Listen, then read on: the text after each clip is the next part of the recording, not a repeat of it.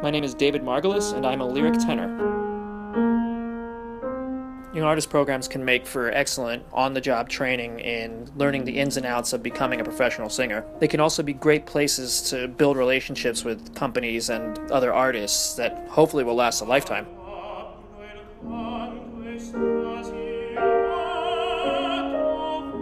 I've been very fortunate to participate in several young artist programs. One of the things that I learned was, as a cover, preparing the same as if you were planning on performing. I was afforded several opportunities because colleagues were unable to be in rehearsal and I was asked to step in. Something else that I learned was the importance of taking care of yourself and knowing how to handle stressful situations during long seasons. It can be tough to say no, but sometimes that extra couple hours of sleep is more important than that hour coaching.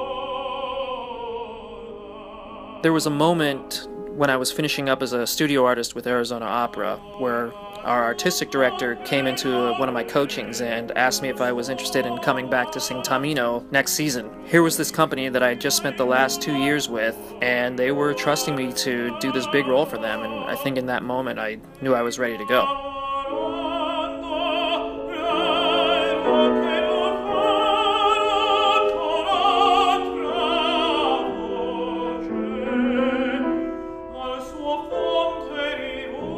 So important now for singers to be versatile and show that they can sing in a variety of styles. I love that in my own practice time I can go from Mozart to Russian to something that was written within the past decade.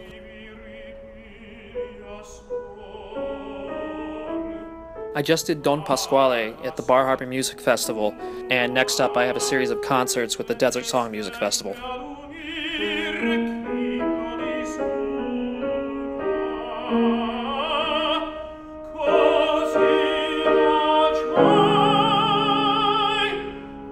Outside of singing, I'd say my biggest passion is fitness training. I've been doing CrossFit now for about five years.